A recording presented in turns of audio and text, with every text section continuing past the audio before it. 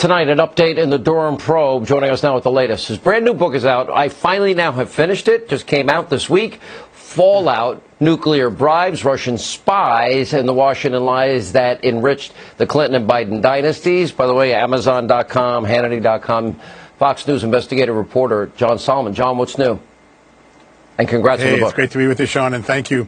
Thank you. Thank you very much. Yeah, listen, uh, the John Durham investigation, as I've been reporting on the show, continues to crank up. There's a lot of interviews going on, a lot of documents being gathered, a lot of discussions about plea bargains and cooperation going on.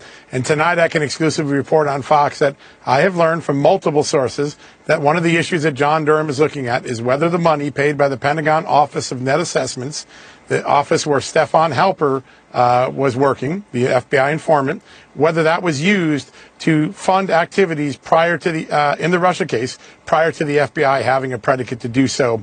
Uh, I've talked to people that have direct knowledge of this. They have confirmed it. It's one of many areas that Congress referred to the Justice John, Department. quick question. And tonight we are certain.